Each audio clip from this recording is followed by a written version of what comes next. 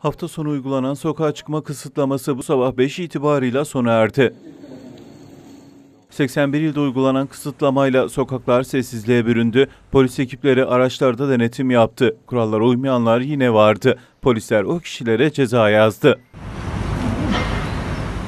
İçişleri Bakanlığı kısıtlamaya uymayanların bilançosunu açıkladı. 12.671 kişiye adli ya da idari işlem yapıldığı bildirildi. Bakanlıktan yapılan yazılı açıklamada vaka sayılarında artış yaşandığı bu günlerde temizlik, maske ve mesafe tedbirlerinin yanı sıra hayatın her alanında belirlenen yeni kurallara uymaya devam etmeliyiz ifadelerine yer verildi. Sokağa çıkma kısıtlaması yeni bir karar alınıncaya kadar devam edecek.